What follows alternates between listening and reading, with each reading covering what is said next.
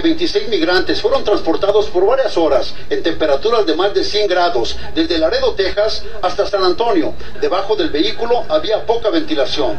Una llamada anónima alertó a las autoridades, quienes lo siguieron muy de cerca hasta que llegó a su destino en esta casa, al sur de San Antonio, donde agentes del sheriff entraron a la fuerza. Resulta que habían 26 personas dentro de esa traila en ese compartimento eh, nomás eh, juntos ahí en el, el, compartimento recibimos información que estaban uh, contrabando de seres humanos en esta casa. Nosotros cuando llegamos, íbamos llegando, vimos una traila que iba entrando con una troca, una camioneta y luego otra camioneta siguiéndolos. Uh, nosotros vimos que las dos, los dos vehículos se metieron a la propiedad. Las autoridades encontraron a 26 migrantes en precarias condiciones, 11 de los cuales fueron transportados inmediatamente por los servicios de emergencia a hospitales locales. Algunas de las víctimas dijeron haber estado en el vehículo de remolque por varias horas. Hay una mujer, una jovencita que llega de Guatemala.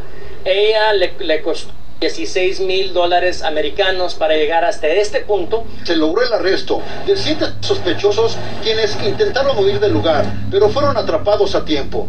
Los sospechosos de transportar a los indocumentados, aseguran las autoridades, son parte de una operación sofisticada que podría estar relacionada con cárteles mexicanos. Cuando vemos una, una operación tan grande como esta, uh, nosotros ya sabemos que, que los carteles están involucrados en esto. Tenemos siete coyotes sospechosos bajo arresto eh, y ahorita ya nosotros tenemos que averiguar que, si hay otros otros coyotes en, en medio de los de los uh, las víctimas